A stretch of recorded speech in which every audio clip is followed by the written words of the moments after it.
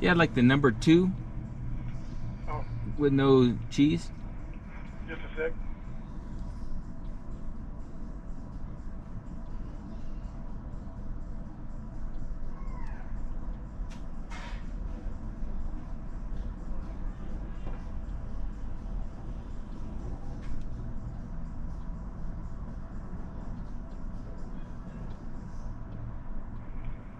Said uh, number two? Yes.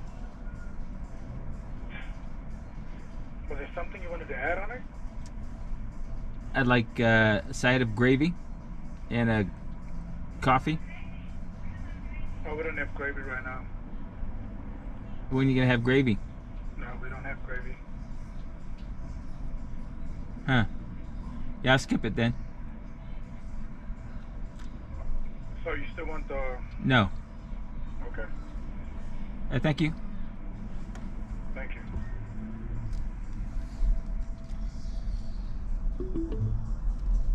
Your destination is on the left.